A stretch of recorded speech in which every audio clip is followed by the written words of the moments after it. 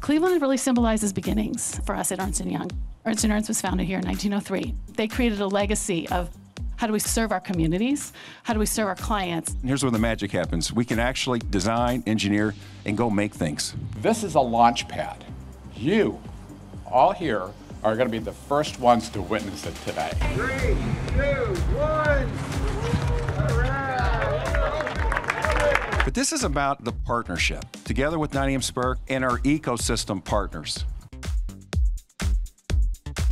I now know why you guys are 95% successful at commercialization, because you guys are relentless. I mean relentless. We thought that we could do innovation differently. Vertically integrated innovation process that we're going to share with the world, with the superpower of EY globally, with our ecosystem partners that are giving us the state-of-the-art technology.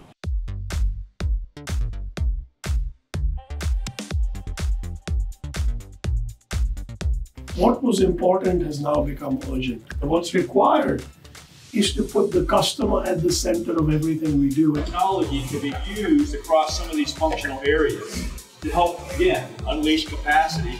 It is absolutely critical as you think about reimagining work. People are at the center. So listen to your organization, understand what their needs are, get that operating model right, and make sure that it ties to your culture. This is amazing. We travel all around to try and see how do we show off technology to companies in a way that they'll adopt it.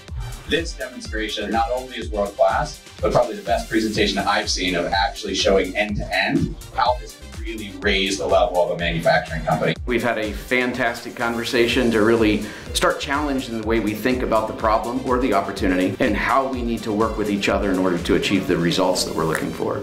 I'm not sure anyone, anyone else can put a facility like this together for our clients. We actually make things here, right? It could be physical, it could be digital, it's hardware, it's software, it's new businesses, new business models, products, services. So incredibly excited to open this up for everyone today.